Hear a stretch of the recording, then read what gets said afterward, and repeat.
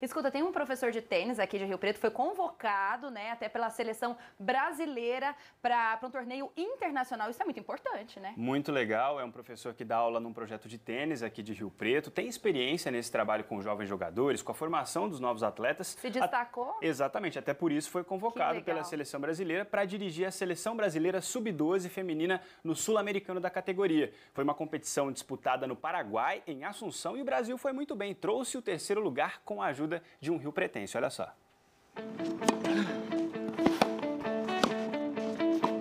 Observar, corrigir. Vai, avança, avança. Não deixa chegar muito, não. Não, deixa eu chegar. Vai, avança, avança, avança, avança. Ensinar. Isso, não tem mais nenhuma na rede. Essa é a tarefa diária do Éder. Isso. Avança, avança, avança, avança, avança. O objetivo dele é enxergar além do alcance dos olhos e formar novos campeões no tênis nosso projeto, os meninos que estão, todos têm grande talento, né? Então a, a, nossa grande batalha é melhorar a cada dia, né? Aprimorar a parte técnica, a parte física, a parte mental.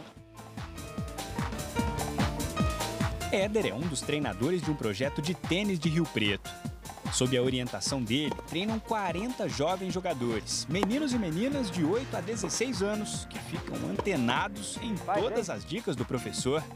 Aí, me avança no meio do jogo você tá em um momento bem complicado, aí você lembra dele rindo e aí ele tá falando alguma coisa, aí você lembra, nossa, aquela hora ele falou isso, aí você faz.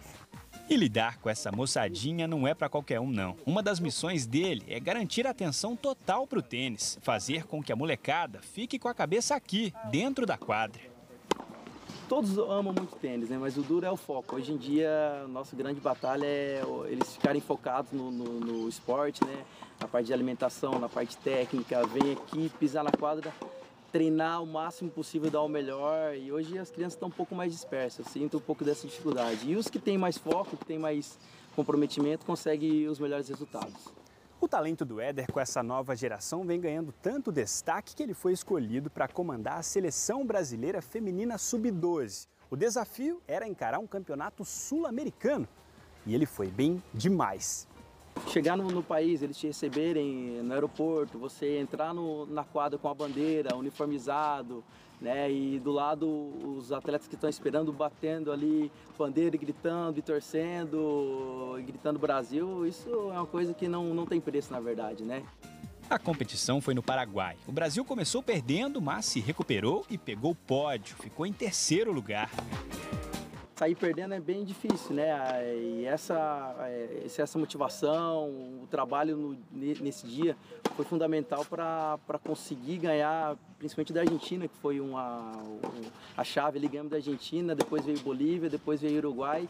Aí elas se motivaram para chegar na disputa do terceiro contra a Venezuela super empolgados assim, e aí foi tranquila essa, essa disputa de terceiro. E acabamos levando o troféu para casa. Na volta para casa, a mala estava mais pesada, com medalha, troféu e um antigo sonho renovado. O sonho de todo treinador é, é trabalhar com um grande atleta, né? formar um grande atleta, atleta, deixar ele entre os melhores do mundo e, se possível, continuar na seleção das categorias de base até chegar no, na, nas profissionais. E se o trabalho do professor vem dando frutos, a turma toda se dá bem e pode esperar algo muito bom do futuro. Tem que treinar muito, trabalhar bastante porque é bem difícil, é bem complicado. E com ele para a seleção seria bem legal. Valeu. É isso aí. Valeu.